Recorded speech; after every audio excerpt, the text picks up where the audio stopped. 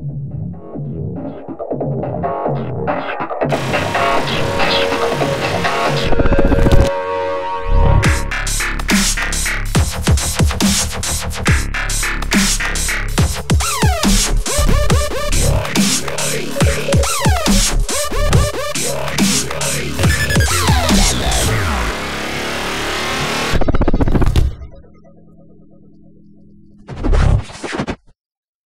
Tandem TV, bonsoir. Je vous retrouve ce soir pour notre deuxième volet de notre émission spéciale euh, rétrospective cinéma 2021 avec notre monsieur cinéma Rudy. Bonsoir les amis. Bonsoir, Rudy. Donc Rudy, après avoir évoqué dans un premier temps euh, les films qui ont fait euh, le succès de l'année 2021, les gros succès, on va évoquer dans cette deuxième partie ceux qui font que le cinéma est ce qu'il est les acteurs et les actrices qui ont marqué cette année. Alors, avant de nous donner ta sélection, euh, Rudy, dis-nous, qu'est-ce qu'un bon acteur ou une bonne actrice pour toi? C'est une question qui n'est pas, pas facile parce qu'en fait, il n'y a pas réellement de définition par rapport à ça. Il y en a une multitude. Euh, je vais te donner plusieurs exemples pour aider un peu à comprendre. Pour moi, un bon acteur ou une bonne actrice, c'est un comédien qui va s'investir à fond dans son rôle qui va mhm. devenir son personnage. Donc, il va créer une biographie. Tu vois, par exemple, tu as des comédiens, ils viennent, ils apprennent euh, leur texte, ils se contentent de réciter leur texte euh, en y mettant des émotions, etc. Ça, c'est à la portée de tout le monde, grosso modo. Là où ça devient plus compliqué, c'est quand tu vas créer une histoire autour de ton personnage, tu vas lui créer un passé qui n'existe pas à l'écran, mais dont toi, tu as besoin pour pouvoir aller chercher, en fait, des émotions, des souvenirs, de sorte à ce qu'en fait, tu n'aies plus besoin de jouer des émotions, mais que les émotions viennent d'elles-mêmes, de manière très naturelle. Ça, c'est une des parties pour moi qui est essentielle. Mais il y en a d'autres. Un bon comédien, c'est un comédien qui va aussi pouvoir montrer un panel très large de ce qu'il peut jouer. Plus le spectre est grand, et plus effectivement tu peux le mettre dans une comédie, il est crédible. Dans un film dramatique, il va être crédible aussi. Je pense à Coluche, je pense à des Gérard Depardieu, je pense à des, euh, je pourrais en citer des dizaines, Robert, euh, Robert De Niro, Sylvester Stallone, encore qu'il n'ait pas fait beaucoup de comédie. Mais pour moi, c'est ça un acteur. C'est quelqu'un qui est capable de tout jouer, d'être crédible. Tango et Cash, c'est drôle. il est assez drôle, c'est vrai. Mais parce qu'il y avait aussi euh, Kurt Russell en face de lui. Donc le tandem fonctionnait bien. Ah, tandem, tiens. plus sérieusement, et une dernière chose, tu as aussi une certaine catégorie. Ce sont des acteurs qui vont jouer des rôles assez particuliers, ce qu'on appelle des rôles de composition. Où mhm. là, ils vont y aller à fond les ballons et ils vont être exceptionnels. Et justement, on va en parler tout à l'heure, donc je te dirai en fonction des acteurs que j'ai classés, des actrices, euh, dans quelle case, plus ou moins, on peut les catégoriser. Est-ce que tu ne penses pas parfois que les acteurs sont un peu frileux euh, par rapport au rôle de composition? Parce que souvent euh, ça, les enferme dans, un type de rôle ou dans un rôle où ils ont été excellents. Et après parfois les, films ou les scénarios ne sont pas forcément à la hauteur. Et, du coup on a du mal à retrouver ces acteurs-là parfois. Est-ce que c'est pas un danger parfois pour les acteurs, surtout quand ils sont jeunes, euh, d'accepter des rôles un peu comme ça où ils vont se mettre un peu en vrac? Se, mettre à mhm. nu et, risquer peut-être bah, de, d'être cantonné à soit à la même catégorie, soit à ce rôle à, ad vitam aeternam Écoute, c'est une excellente question. Effectivement, quand un acteur est bon dans un rôle, il aura tendance à être rappelé parce que quelque part, il est très rassurant. On sait qu'il l'a déjà fait, qu'il pourra le refaire, peut-être même aller un peu plus loin dans sa folie. Et effectivement, le, le problème avec ça, comme tu l'as bien illustré, c'est qu'ensuite, il soit un petit peu condamné à jouer toujours la même chose. Alors heureusement, dans le cinéma, tu as des directeurs de casting, tu as des réalisateurs, des metteurs en scène qui savent déceler le potentiel chez quelqu'un. Ils se disent, si cet acteur, il est très bon dans la comédie, forcément, il sera très bon dans le drame. Alors que l'inverse n'est pas toujours vrai. Et, euh, donc, si tu veux, c'est aussi à eux d'emmener les acteurs sur autre chose, de faire des tests. Et aujourd'hui, des grands acteurs, de toute façon, la plupart du temps, savent quasiment tout jouer. Donc, euh, j'aurais tendance à dire pas tant que ça. Par contre, là où tu as raison, c'est que ça a porté préjudice à des comédiens qui ont fait des sitcoms. Je pense notamment à une série dont on a parlé sur Tandem récemment, qui est la série Friends. On se rend compte que quasiment ils étaient tellement bons dans les rôles qu'ils ont tenus dans cette série, comme si que, en fait, il y avait qu'eux qui pouvaient défendre ces rôles-là. Et malheureusement, par la suite, euh, ils n'ont pas eu forcément la carrière qu'ils auraient pu euh, avoir, puisque aujourd'hui, quand tu vois David Schwimmer, tu le vois à la télé, tu dis ah bah c'est Ross, mm. Jennifer Aniston, c'est Rachel, Courtney Cox, voilà, etc., etc. Encore que pour Cox, ça fait quand même quelques films à côté. Mais la plupart du temps, euh, c'est vrai que c'est très compliqué. Quand tu es très très bon dans un rôle et que tu le tiens pendant des années, le public a du mal à s'en défaire. Donc forcément, derrière, il y a le retour de bâton. Alors, honneur aux dames, euh, Rudy. On va commencer euh, par lister donc les, les actrices qui t'ont marqué cette année et qui se sont démarquées dans le cinéma en 2021. Alors, quelle est cette première actrice qui, dont tu veux nous parler? Alors la première actrice, j'ouvre le bal avec une actrice qui, selon moi, pourrait prétendre aux Oscars euh, cette année. Je crois que je l'avais dit dans la partie 1 de l'émission. Mhm. Euh, elle a défendu un rôle très important pour un film de Walt Disney euh, qui est Cruella et c'est donc l'actrice Emma Stone. je l'ai trouvée géniale dans ce rôle parce qu'elle joue vraiment deux rôles totalement opposés. Et là, pour le coup, ça rejoint un petit peu ce que je disais tout à l'heure, comment reconnaître un bon acteur ou une bonne actrice.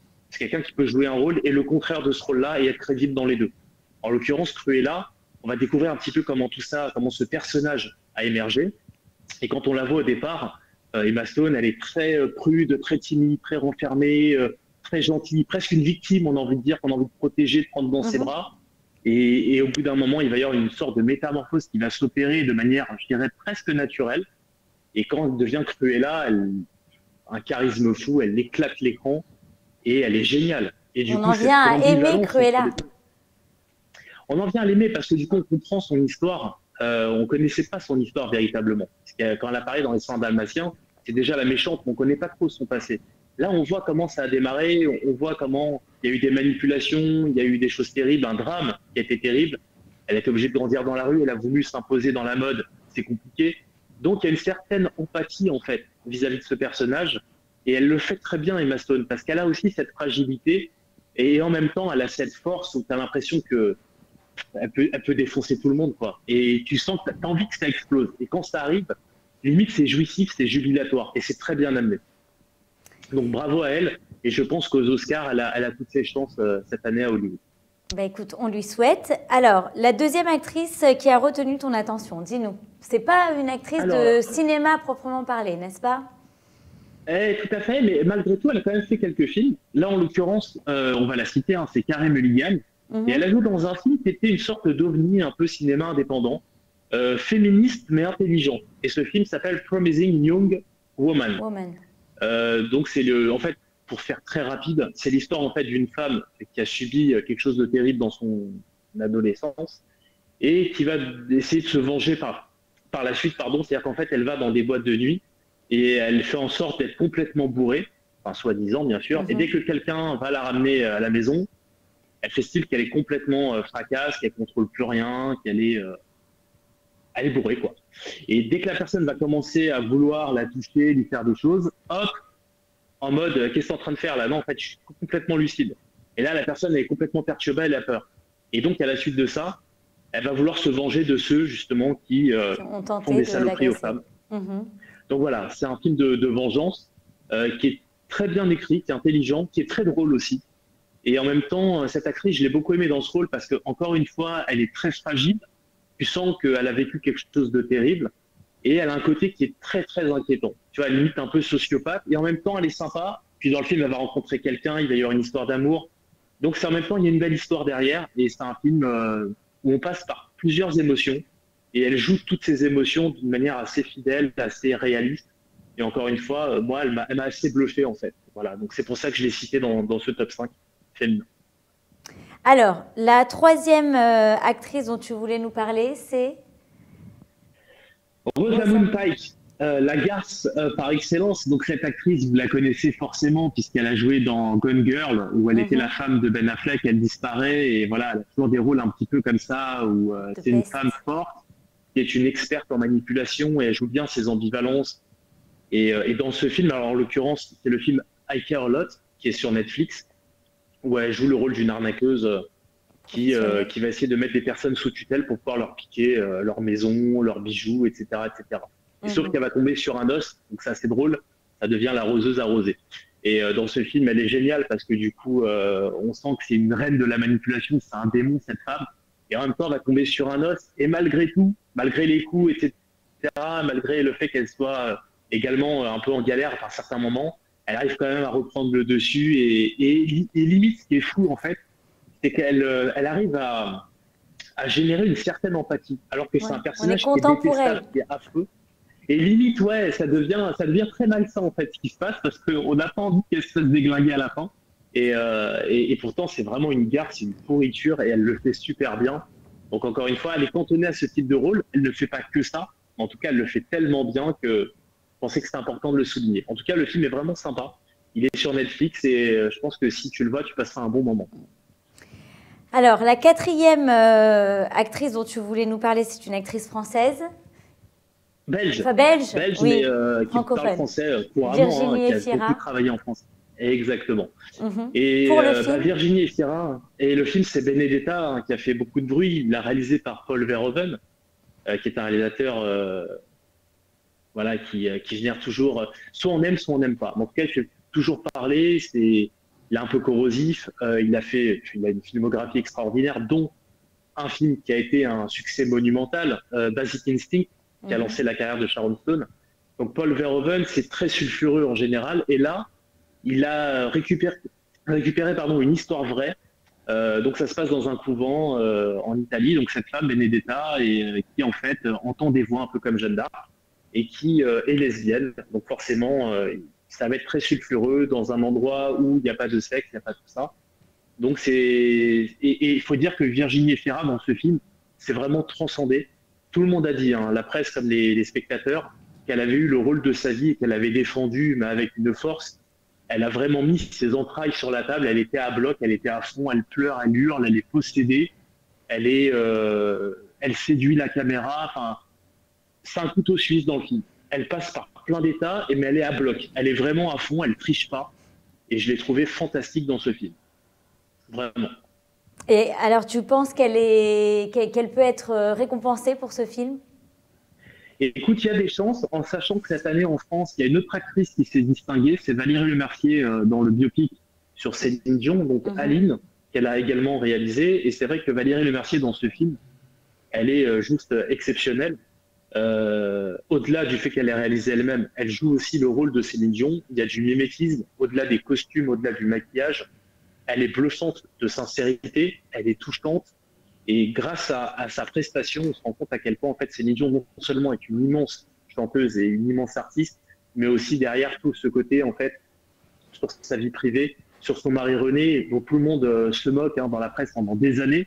Et en fait, on se rend compte que cette histoire, euh, elle est tellement bien défendue par Valérie Lemercier, elle est tellement, euh, elle est tellement belle dans ce film que euh, bah, je trouve que ça, ça fait beaucoup de bien à regarder. Puis on se rend compte aussi qui est Céline Dion et on se rend compte que derrière l'artiste, il y a aussi un être humain qui est exceptionnel. Tout à fait. Et, euh, et bravo, en tout cas, voilà, bravo à Valérie Lemercier qui a vraiment signé une, une performance exceptionnelle. Je pense qu'elle risque de gagner le César cette année.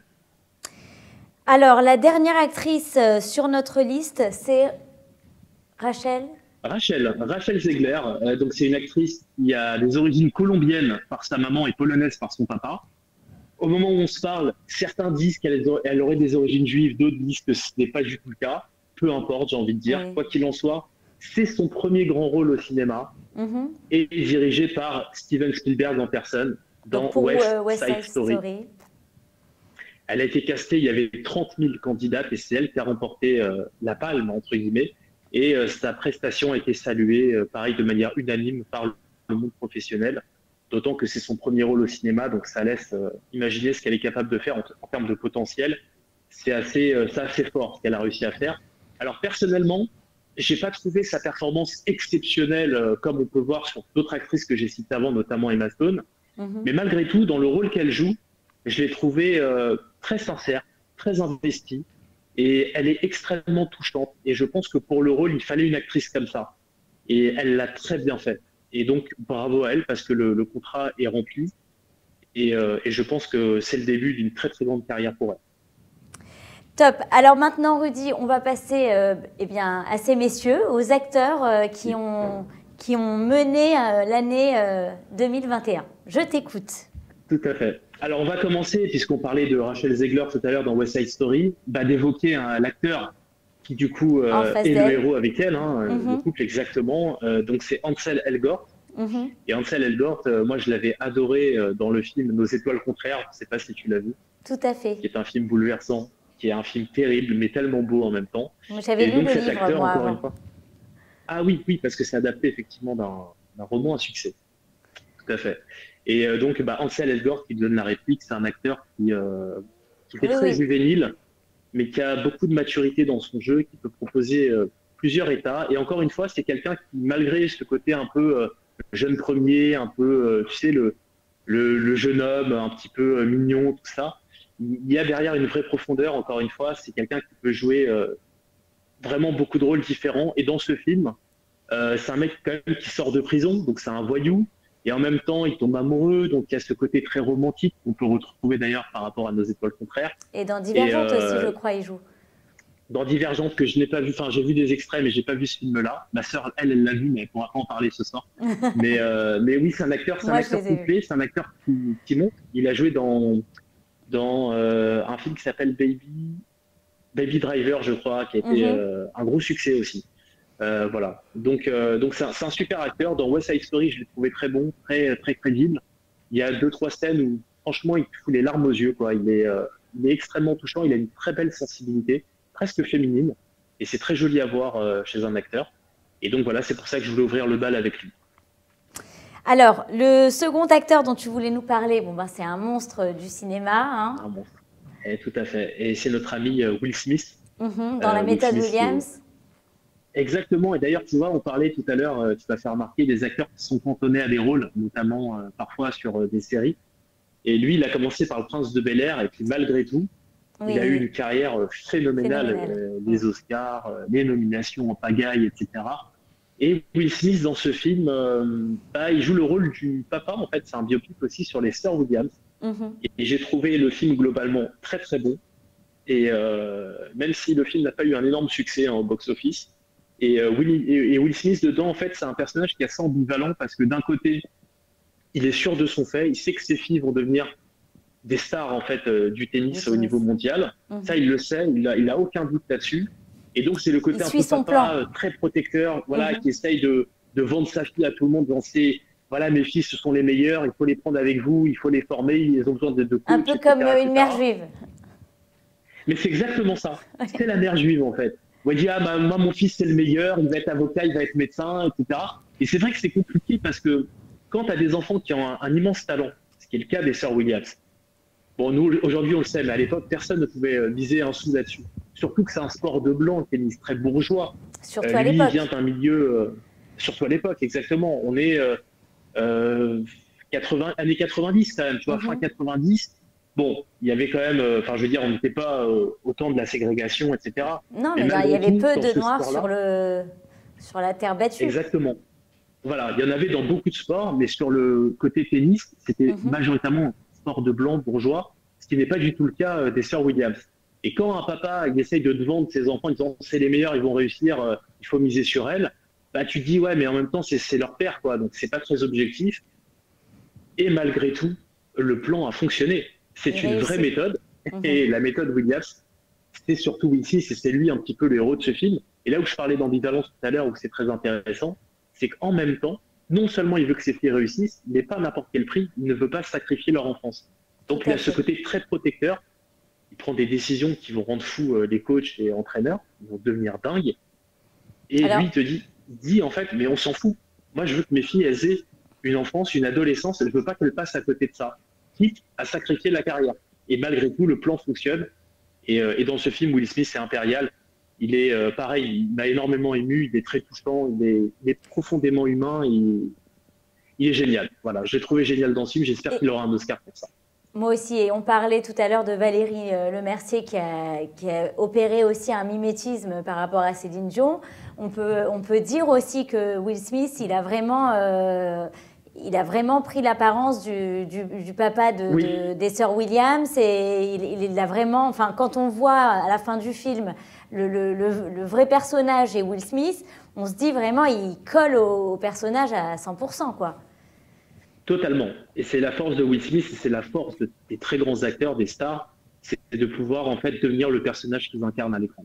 Et ce travail-là, bah, pour le faire, il y a une grande préparation en amont, c'est-à-dire que tu dois voir la personne que tu es censé euh, jouer, passer du temps avec lui, des heures et des heures et des heures, connaître son histoire, reprendre ses tics, ses expressions, sa façon de parler, etc. Pour qu'ensuite, à l'écran, bah, la magie fonctionne. c'est ce qu'a dû faire Will Smith, j'imagine. Alors, le prochain acteur dont tu vas nous parler, c'est? Oui, alors euh, c'est Bob Odenkirk. Alors c'est un acteur que euh, c'est un acteur assez particulier. En fait, il s'est fait connaître. Enfin, il a explosé véritablement en jouant un second rôle dans la série Breaking Bad, qui est une Mhm. série hyper connue euh, dans le monde. Et en fait, il s'appelle Saul. C'est un avocat un peu véreux qui se fait passer pour un fudge d'ailleurs, qui est assez drôle. Et en fait, ce personnage a tellement bien marché qu'ils en ont fait un spin-off et une série qui s'appelle Better Call Saul. Et là, euh, dans le film dont je vais te parler, euh, donc s'appelle Mister Nobody, c'est un film qui est sorti au cinéma cette année. Il joue le rôle d'un mec en fait euh, affreusement banal, qui a une vie, qui s'est réglé comme du papier à musique. En fait, c'est toujours la même chose. Et tu sens que c'est un gars, tout le monde se paye sa tête, tout le monde se moque de lui. C'est une sorte de loser. Et tu te dis, mais le film il nous emmène où exactement? On comprend pas trop. Et en fait, on va se rendre compte que ce gars-là, c'était un ancien des forces spéciales. C'est un fou furieux, c'est un tueur, euh, mais c'est un monstre. C'est un, c'est une sorte de James Bond en fait, on va dire. Et, euh, et ce qui va se passer, c'est que dans le film, à un moment donné, il va y avoir un, un fait divers, il va y avoir un truc, et le gars, il va complètement basculer. Et c'est le cas de dire, en fait, c'est comme Breaking Bad. Et c'est ça qui est assez drôle. C'est qu'en fait, c'est lui qui va partir en vrille et qui va euh, retrouver tous ses réflexes euh, d'antan. Et il va y avoir une sorte de vengeance avec un, engrenage meurtrier où il va se retro- euh, retrouver à, tuer des mafieux, etc. Donc c'est un film qui est très, drôle. C'est un film d'action. Et, franchement, il est, top. Et dans ce rôle-là, on l'a jamais vu quasiment. Et il est super crédible dedans, un peu comme Liam Neeson dans Taken. Et donc voilà, c'est pour ça que je tenais à le mettre dans ce classement, même si c'est un côté un peu bizarre. Mais voilà, je tenais quand même à le mettre malgré tout. Alors, le prochain acteur dont tu vas nous parler, bon, c'est un acteur euh, très connu, Matt Damon, Oui, dans Matt Damon, tout à fait. Dans un film euh, qui a été tourné en France, qui s'appelle Stillwater, Stillwater. euh, notamment, il donne la réplique à Camille Cotin, qui joue le rôle de la connasse euh, sur Canal, et qui, qui marche plutôt bien d'ailleurs. Mhm. Elle est aussi à l'affiche de la série 10% où elle a cartonné. Donc Camille Cotin, qui joue le rôle d'une Française hein, qui vit à Marseille. Et Matt Damon, en fait, il se rend à Marseille, vu que c'est un Américain. Il se rend à Marseille pour essayer de- d'aider sa fille qui a été emprisonnée injustement pour un crime qu'elle n'avait pas commis. Il va essayer de la sortir de, euh, de là. Et, euh, et c'est un film qui, sur le papier, pouvait être très intéressant. Matt Damon, dedans, joue un rôle à fleur, à fleur de peau. où Il va essayer de sauver sa fille, mais il n'y arrive pas. Il est dans un pays qu'il ne connaît pas. Euh, c'est un rôle, en fait, où il est vraiment... il est très faible et très affaibli. On a presque de la peine et de l'empathie pour lui de manière naturelle. Et il joue très très bien ce côté perfectible. Et c'est un rôle dans lequel on n'a pas l'habitude de le voir. Et je l'ai trouvé très bon. Et malheureusement, le film euh, est plutôt décevant parce que euh, les scènes sont très longues, elles sont interminables, ça raconte pas grand-chose. Et euh, voilà, pour moi, le rythme est manqué, le montage aussi. Et c'est dommage parce qu'il y avait vraiment tout sur le papier pour que ce soit un super film. En tout cas, Matt Damon dedans, je l'ai trouvé formidable, comme Camille Cotin. Alors, maintenant, un autre monstre du cinéma américain, Anthony Hopkins, dans The Father. Father, yeah. Donc euh, Anthony Hopkins, on va le rappeler, hein, qui a gagné l'Oscar sur ce rôle-là. Euh, Mhm. le truc, c'est que euh, l'Oscar, c'était, tu sais, la cérémonie, c'est, je crois que c'est au mois de mars aux États-Unis, et le film était sorti en tout début d'année en France. Donc, il fait quand même partie de la sélection 2021. Mhm. Donc, Anthony Hopkins a gagné On l'Oscar. pouvait pas ne pas- ne pas en parler. Mhm. On pouvait pas ne pas en parler. C'est un, rôle particulier parce que c'est un film qui traite de la maladie d'Alzheimer, qui est très bien fait d'ailleurs. C'est réalisé par un Français. Et euh, c'est un, c'est un film qui est très intelligent, qui est très bien écrit. Et Anthony Hopkins, en fait, sa, sa force dans ce film, c'est qu'on a vraiment l'impression qu'il est atteint par la maladie d'Alzheimer et qu'il joue son propre rôle et qu'il a atteint cette maladie. C'est complètement fou. Il est bluffant euh, de, de vérité, il est bluffant de sincérité, comme d'habitude. C'est un acteur qui a une classe, qui a un charisme fou. Et, bah, rien que, des fois, en fait, cet acteur, ce qui est fou avec lui, c'est qu'il a même pas besoin de parler. Juste, tu le regardes, tu vois ses yeux, la manière dont il te dévisage, dévisage euh, la comédienne ou le comédien qui est face à lui, et son regard, en fait, te dit tout. Tu peux couper le son, tu comprends exactement ce qui se passe. Et ça, c'est la marque des grands acteurs, et c'était un, euh, une illustration qu'avait faite mon prof en fait d'art dramatique, mon premier prof qui s'appelle euh, Daniel Milgram, qui est décédé depuis, donc paix à son âme. Il disait en fait quand tu voir un bon acteur au cinéma, ça c'est un truc que j'ai pas dit tout à l'heure, mais je rebondis là-dessus. En fait, il suffit de couper le son d'un film, et si tu comprends exactement les enjeux et ce qui se passe, c'est que l'acteur a été très bon. Voilà. Et Anthony Hopkins, c'est exactement la quintessence euh, De ce genre ce que je viens de d'acteur. dire. Mhm. Exactement. Alors, le- les deux prochains et derniers euh, acteurs dont tu vas nous parler, ils ont un point commun, c'est le film dans lequel ils ont joué tous les deux. Exactement. C'est ça. Alors- Kingsman First Mission qui vient de sortir. Mhm. Voilà, donc c'est un film qui est sorti le 29 décembre, donc on, le comptabilise quand même sur 2021, même euh, voilà, à deux jours près. Euh, ces deux acteurs, donc c'est Ralph Fiennes et, euh, et Rhys mhm. euh, alors Ralph Fiennes, on le connaît, hein, c'est un acteur qui a une, énorme carrière. dans ce film, donc il joue le rôle de, celui qui va fonder en fait Kingsman, cette espèce de parce que bon, je pense que vous connaissez le film, on en avait parlé. Oui, oui on en a parlé dans la première une partie. Sorte d'acteur voilà de, de, James Bond. Tout à fait, une agence spéciale secrète. Mhm.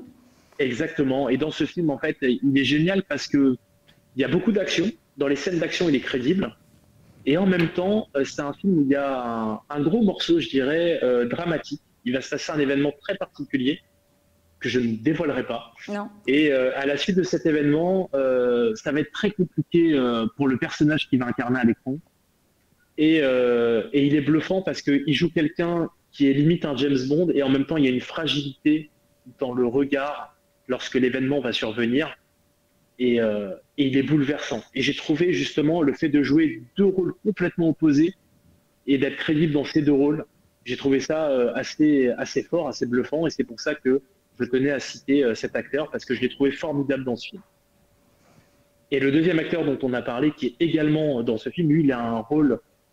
Un je dirais qu'il a un petit rôle, mais un mhm. rôle qui est exceptionnel parce qu'il vole la vedette à tout le monde.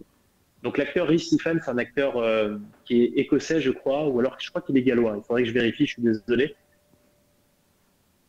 En fait, c'est un acteur qui est très grand de taille et qui joue toujours des rôles de barjo, mais il le fait super bien. Et là, dans ce film, il joue le rôle de Rasputin. Et euh, il y a une scène qui est complètement folle dans le film, d'ailleurs, qui est euh, plus ou moins dévoilée dans la bande-annonce, où il se met à, se bagarrer contre bah, l'acteur qui joue Kingsman et également son fils en même temps. Et mhm. c'est un ballet, un ballet russe mais chorégraphié avec des, coups qui pleuvent dans tous les sens. Et le personnage est complètement déjanté, il est complètement fou, et il je le trouve génial. Donc là, pour le coup, on est sur un vrai rôle de composition, et il le fait tellement bien, il a tellement volé la tête à tout le monde qu'on était obligé de le citer ce soir. En tout cas pour ce film. Eh bien, écoute, merci Rudy pour euh, cette sélection des acteurs qui ont fait l'année, acteurs et actrices bien sûr, qui ont fait l'année 2021. Euh, merci à tous de nous avoir suivis pour ce deuxième volet. Je vous retrouve très bientôt avec Rudy, bien sûr, pour euh, la suite et fin de cette euh, rétrospective 2021. Au revoir, à bientôt. Tout à fait. Merci Aurore. Au revoir les amis. Merci Rudy.